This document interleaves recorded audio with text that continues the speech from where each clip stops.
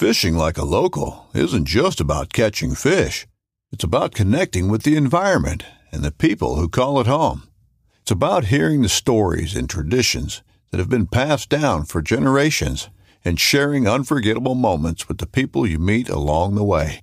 Fishing like a local is having an experience that stays with you forever.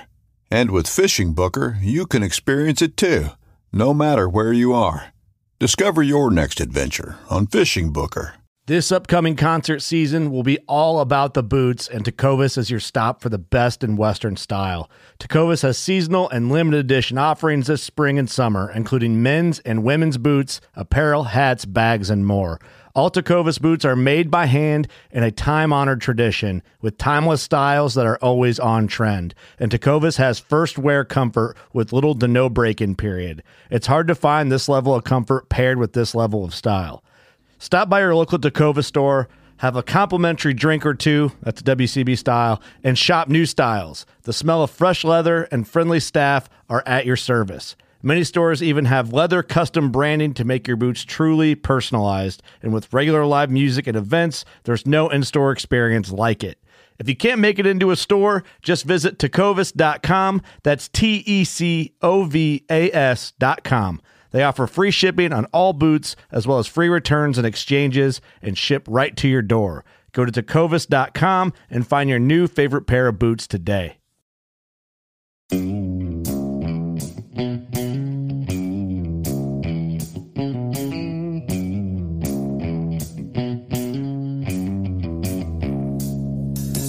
All right, welcome back to the Survival and Basic Badass podcast with Chuck.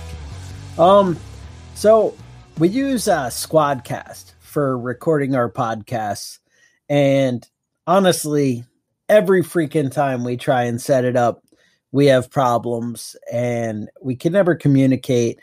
Um, it records via the internet. I don't have the greatest internet where I live, and uh, but whatever. But we always have some kind of logging in problem. We're supposed to be able to see each other face to face. And half the time when we record it, it's just a blank screen because the the video quality isn't good enough or whatever, so it just cancels it out.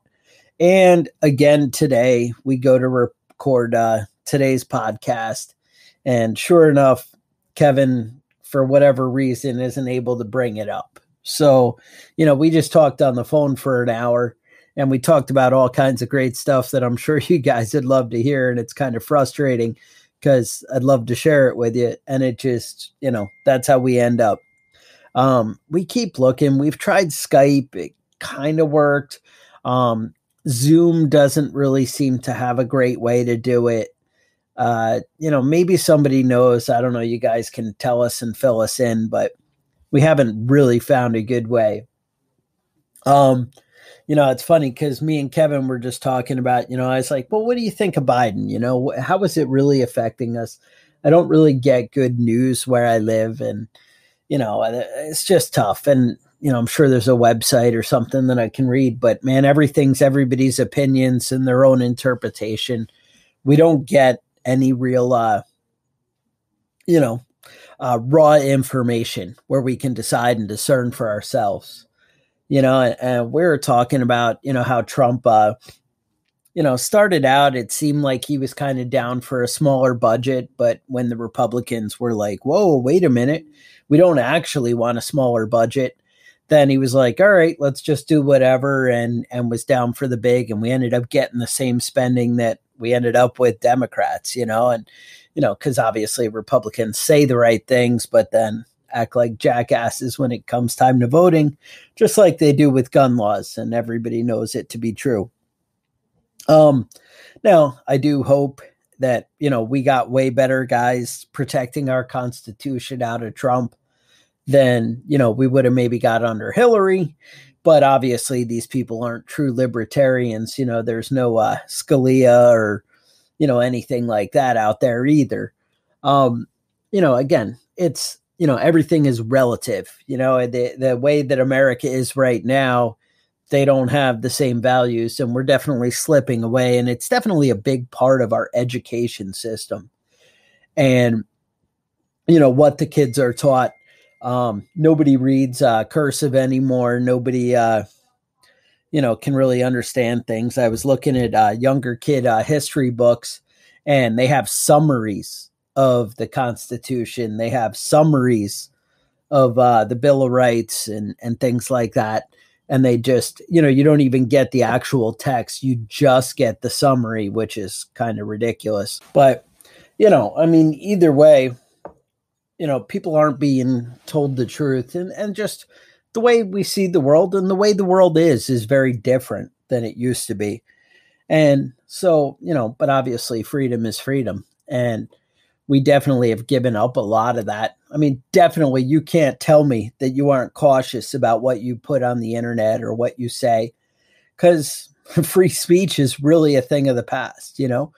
And now think about how many times you're cautious or you rephrase something or put it a different way because, you know, it's not, or you might even just do it for the people around you oh, I don't want the backlash. I don't want them to misinterpret. I don't want them to think that I hate black people or that I don't like gay or, you know, oh, I said something about, you know, having to say he, she, or call somebody it or whatever. I don't want them to think that I mean this and or I mean that, you know, don't understand. I, I think people can do whatever they want to do. They can, you know, act any way they want in their bedroom. It's their own privacy and I don't care. But why do you have to put that disclaimer? Because we're so worried about how people view us and how society will see us. And I find it concerning. Um, you know, America's really changing and and you know, it's a matter of fitting into the world that we live in and you know, making things work with the way we are. And you know, we just had like a big discussion about that. And I just, you know, I'm sure you guys would have appreciated it. We talked about immigration. We talked about how, you know, maybe bailing out cities that made bad choices. Um, you know, with uh, California has that big uh, homeless population. And I don't know whether it's true or not, but I read on the internet that, you know, uh, that Biden is planning to help the California bail out, you know, all that situation and sort it out. And we are discussing about how, you know, it's a, uh, it's supposed to be an experiment kind of thing where states do what states want to do. And when we really screw up and our city's got people pooping in the street, then other states should be like, hey, maybe that's not what I should do. But it's not for all of us to, you know, bail out a state that made those bad choices. That's not exactly the system we set up, but it's also the system that we keep choosing. Um, that's why, you know, amendments are hard to change because um, the population, we knew that it would keep, you know, evolving like this. You know, when people can vote themselves free stuff, they're going to do it and that's how it kind of works you know? I, if 51% see that you have a sandwich and they don't have a sandwich they're going to want to take the sandwich from you and and you know get theirs.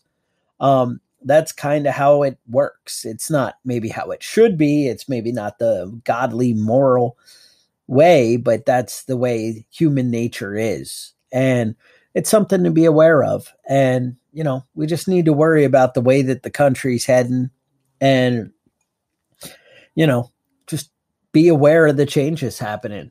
So that's all i really got. I just wanted to kind of give you guys an explanation. Uh, i'm gonna probably throw up another uh, podcast that you know was a big hit before and and let you guys relive some of the glory days but i just wanted you to know what's going on and where we're coming from. And with that stay safe and i will talk to you guys next week hopefully with kevin the Survival and Basic Badass podcast is a proud member of the Self Defense Radio Network.